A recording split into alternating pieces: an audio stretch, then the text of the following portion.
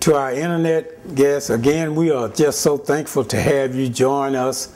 And just uh, want to thank you for the comments uh, that, that you uh, share with us. And if you haven't already, go down and subscribe to this cast so that when we come up, you'll be notified. That way you won't miss us. And I also want to encourage you to, to continue to share with your friends, your families, your Sunday school classes that we're here. So they too can join in and be blessed by the Word of God here at World Class Sunday School.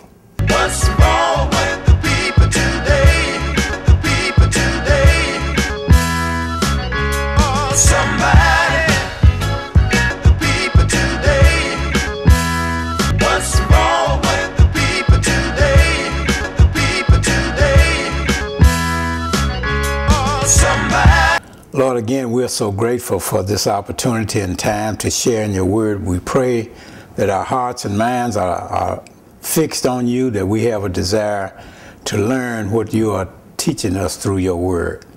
It's in Jesus' name we pray and give you thanks and praises always. Continuing in our one a quarter, we're talking about call in the New Testament. And here in uh, Unit 3, we've been discussing the call of women. And today, uh, the title of our lesson is Called to Testify. We're going to see a, a woman, a Samaritan woman, called to testify about the salvation of Jesus Christ uh, and, and the impact that her witness had on others. And how this lesson will show us how, how important our witness is. Uh, we have three outlines that we're going to follow. The first is a woman's declaration. And uh, we're going to be looking at in uh, the Gospel of John in chapter 4. So the first outline is coming from John, the fourth chapter, verses 25 through 30. Second outline, uh, a crop prepared. John, fourth chapter, verses 31 through 38. And the third outline is a community transformed. John, the fourth chapter, verses 39 through 42. So uh, we're going to start this session by talking about the relationship between the Jews and the Samaritan in Jesus' day. Uh, after, after the division or split of Israel at the end of King Solomon's reign, Israel split and 10 tribes went to the north and they were known as Israel and the other tribe went to the south. They were known as Judah. Uh, because of their disobedience and idolatry, God's judgment came upon the northern tribe, Israel. He allowed the Assyrians to, to destroy Israel because of their sin. And uh, many Jews were taken in, into exile. Those that remained the intermarried with outsiders who were brought in to work the land. By the time Jesus arrived on the scene, the animosity between the Jews and the Samaritans were, were at a great height. But these, when, uh, when those outsiders came in and the Jews started to intermarry with them, and their offsprings were called Samari Samaritans. And the animosity had, had grown between the Jews and, and the Samaritans by the time that Jesus came on the scene. And so uh, uh, uh, the Jews would, well, they had no dealings at all with the Samaritans. And they would go out of their way to avoid going to Samaria, they would bypass it when they would go from from uh, Galilee, when they would go from Galilee to Judea, uh, from Judea to Galilee. Uh, and that here, when we look at uh, the fourth chapter of John, we uh, verses 21 through 24, which is not a part of our printed text, we read uh, encounter that Jesus had with one Samaritan woman. Now, because of, of their custom, uh, because of their hatred for one another, uh, and, and, Jesus had to rebuke his disciples at one point but because of their hostility toward the Samaritan. You find that in uh, Luke, the ninth chapter, verses 55 through 56. But here, here in uh, John, the fourth chapter, verses 1 through 24, let us look at the, the uh, encounter or the conversation that Jesus had with the Samaritan woman. Okay, and, and uh, at this, uh, when Jesus was leaving uh, Judea going to Galilee, you read it in John the fourth chapter, verses, verse 4 says, it, it tells us that Jesus must need go through Samaria. Now this, this was not custom for Jews to do. Okay, so that brings us to where we are in our lesson. We're going to look at the conversation that, that transpired between Jesus and the Samaritan woman. And, and we'll see that it starts with on, the, on his journey from when, when Jesus was going uh, to Galilee from Judea, the Bible said that, that he, he was weary and he came to, when he came to Samaria, uh, he came to a point uh, at uh, Jacob's well and where this Samaritan woman came to draw water. Okay, now Jesus asked her for a drink. And it, it, it, this was not customary. And she, she asked him, why would he, a Jew, ask her for water? And so they got into a conversation about the living water. And it, what Jesus was doing was really revealing himself to her. Uh, and then the conversation went from the living water then it got personal. Jesus told her about her personal life. And, and then the conversation moved from her personal life. And then uh, it, they talked about worship. And she was talking about how important it was the place of worship, but Jesus was talking about the importance of how to worship. And then uh, he, he said, he made a statement that, that there will come a time, and that was the time for the Messiah to come. And he said there would come a time when the, the place of worship would be irrelevant, but all that worship God must worship Him in spirit and truth. And then the, and then the, uh, the Samaritan woman made a statement that she said, I know that the Messiah is coming. And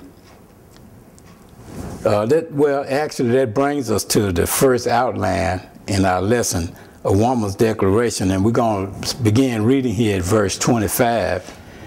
It says, The woman said unto him, I know that the Messiah cometh, which is called Christ. When he is come, he will tell us all things. So, so both the Jews and the Samaritans were looking forward uh, to the coming of the Messiah or Christ. The Jews were looking for a conqueror who would come and overthrow the Roman government and take them out of their oppression. But on the other hand, the, the Samaritans were looking forward to a uh, a teacher prophet. She said that, that he would come, and when he when he would come, he would tell them all all things. And so uh, the Samaritans were looking for a teacher prophet that would tell them all things that they would uh, rectify their mistakes and and defects and put an end to their uh, disputes. And, and so they were they were both Jews, I mean, both Jews and Gentiles were looking forward to the Messiah, but they had a different idea of what the Messiah would be like and what he would do. And then we read on to see here in verse 26, Jesus said unto her, Now, all the time that the conversation was going on, Jesus was revealing himself to her.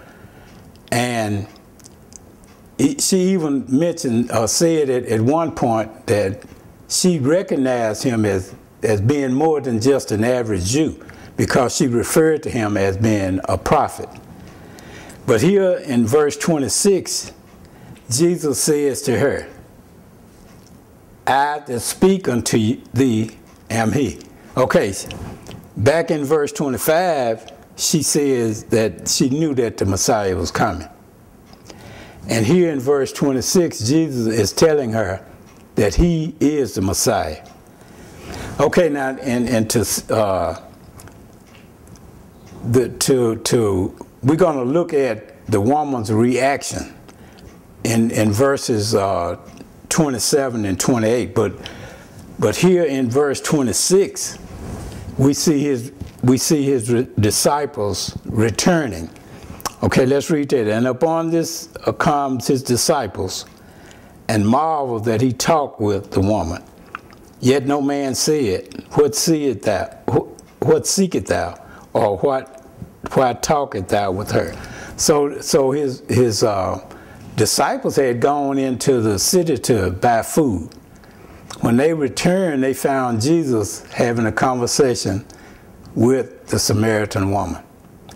Now, they wondered why he was talking with her, but, but none of them asked him why. Okay, and so now let's let's go over to verse 28 and 29, and we're going to see the woman's reaction.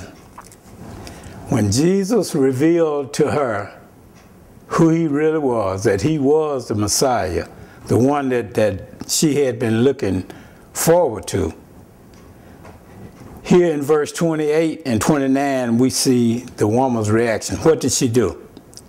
The woman then left her water pots and went her way into the city and said unto the men, she went to the men, she said, Come see a man which told me all things that, uh, that ever I did. Is not this the Christ? So, so her reaction was to, to run and tell it. When she, when she realized that Jesus Christ was the coming Messiah, her reaction was to run and tell it. And, he, he, and she, she baited those men that she addressed to come and see. She said, Come see a man which told me all things that, that ever I did. And here we see the conclusion. She said, "Is not this the Christ?" She wasn't. She wasn't asking a, a question, but this was her conclusion about this man that, that she had been talking to, that he was the, the Christ, he was the Messiah, and he was the, the promised one. Then they went out of the city and came unto him. So, uh, so uh, she had this, this uh, Samaritan woman had great expect expectations of the Messiah and was ready to uh, receive instructions from him.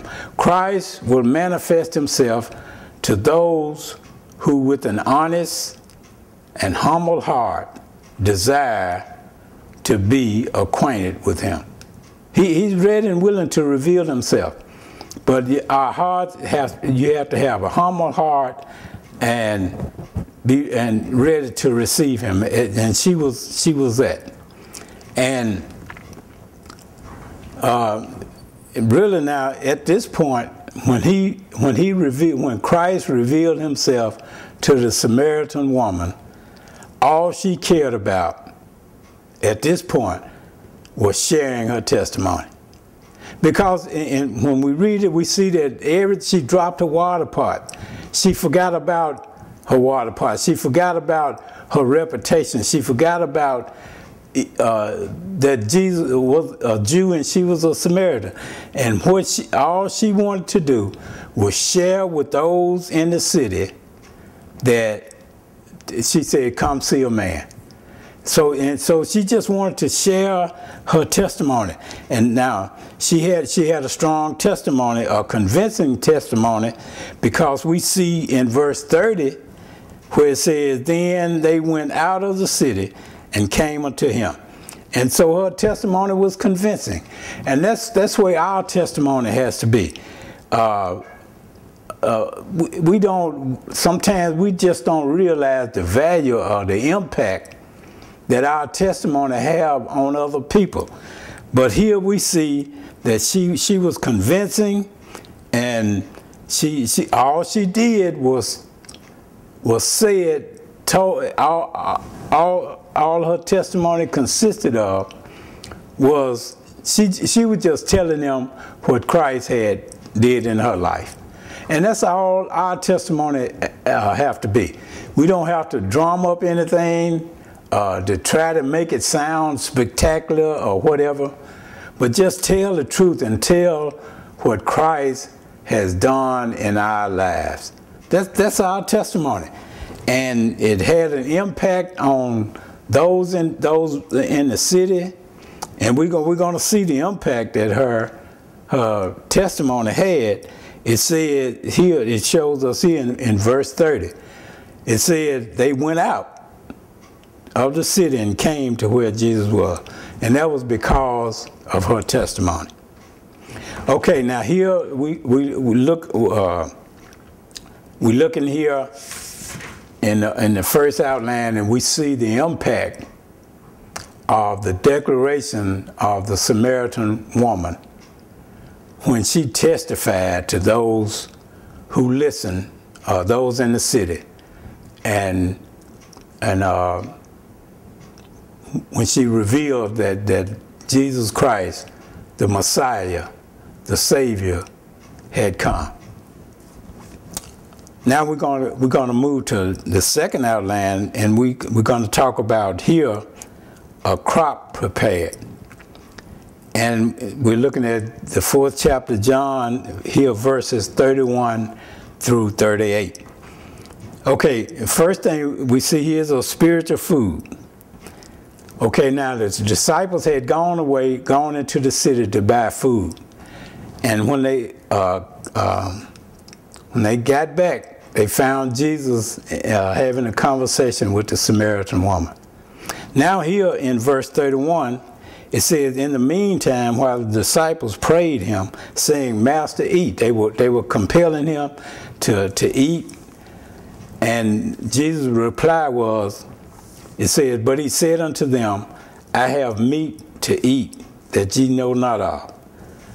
Therefore said the disciples one to another, Has any man brought him aught to eat? And so they was asking, uh, Did someone else bring him something to eat? we know he haven't had anything to eat, and when we offer him food, uh, he, he's refusing uh, because Jesus knew what was coming, and and it's it goes on to say here. Uh, he, he, he uses, we see he's going to use a metaphor of sowing and reaping. And verse 34, he says, Jesus said unto them, my meat is to do the will of him that sent me and to finish his work. Jesus never lost sight on the assignment God had given him.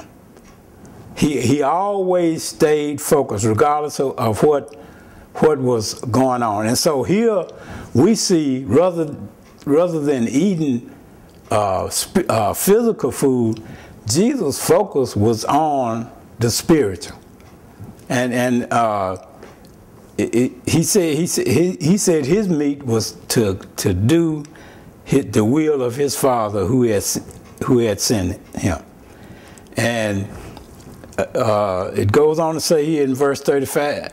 35 says, Say not ye that there are four months, and then cometh harvest.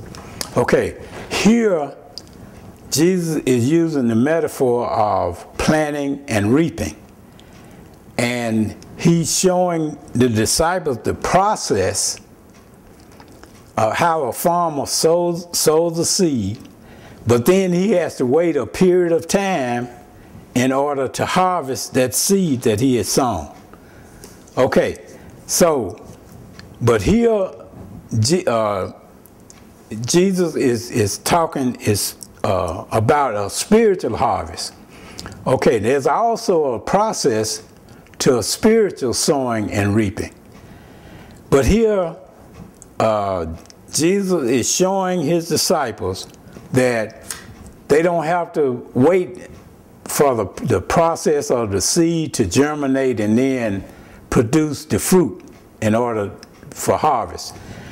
On, on the spiritual side, he's saying that the fruit is already ready. There's no waiting period. He, but behold, I say unto you, lift up your eyes and look on the fields, for they are white already to harvest. And he uses metaphor as a farmer planting a seed and waiting for the harvest. But the, the field of souls are ready to harvest. That there's always the season of planting spiritual seeds. And that, that's pretty much what, what this uh, section is showing us. And, and then it goes on to talk about the reward uh, of the harvest. Here in verse 36 it says, And he that reapeth receiveth wages, and gather fruit unto life eternal, that both he that soweth and he that reapeth may rejoice together. Okay, so so the process, uh, there, there's no competition when it comes to sowing and, and, and reaping spiritually. The process uh, is that that we we are all a part of the process. Is is what it's showing us. And herein is that saying true: one soweth and another reapeth. It, uh, it takes all of us working to. It takes all of us working together to bring about the harvest. And then uh, Paul says uh, uh in uh, 1 Corinthians 3 and 6, he says, I sow, Apollo waters, but God gives the increase. And so when we all are working in the process, in this process of spiritually sowing and reaping, and then, uh, then when the harvest comes, then we all can rejoice because we all have a part in, in sowing and reaping uh, spiritually. In verse 30 it said, uh, I send you to reap that whereon ye bestow no labor.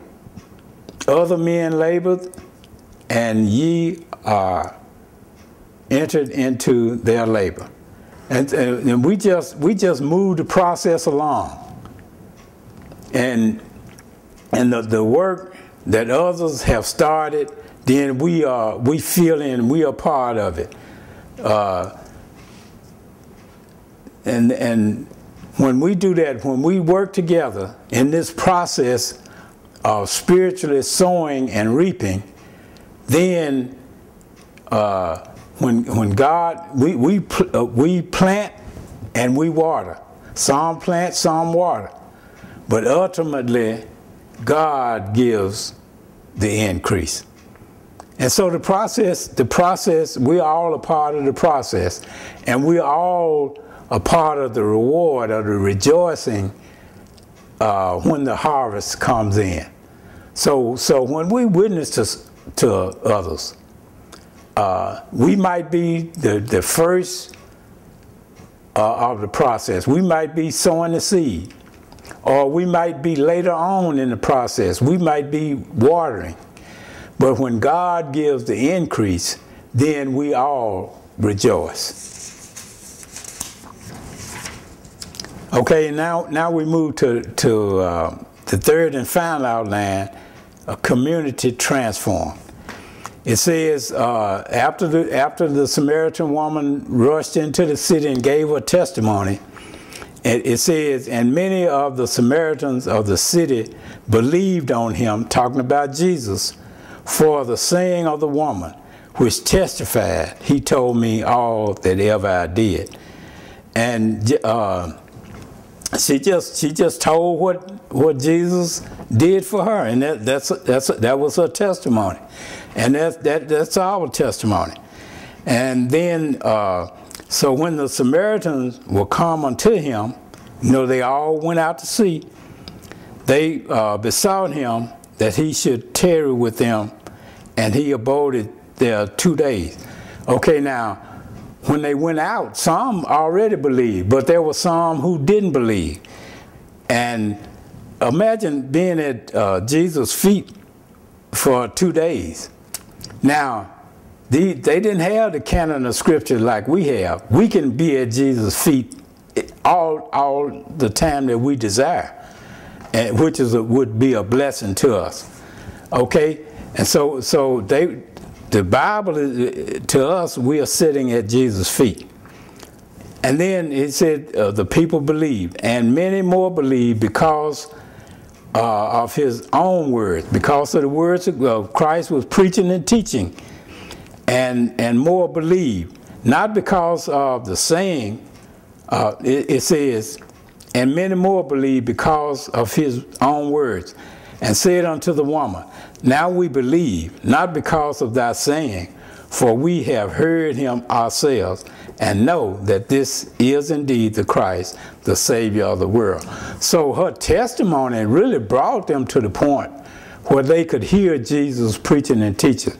And then once they heard the preaching and teaching, as a result, they also believe. But here we, we see, uh, uh, uh, here we see faith.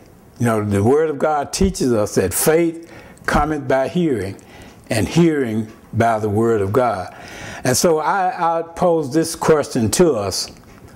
If faith comes by hearing the word of God, are we a part of getting the word out so those in the city who, who have not accepted Jesus Christ as Lord and Savior can hear the word, uh, uh, be a part of seed planting and seed watering in order that God may, may give the increase. And so, you know, it's time for us to search ourselves and see are we a part of the process? Are we helping it move along? Or are we hindering the process?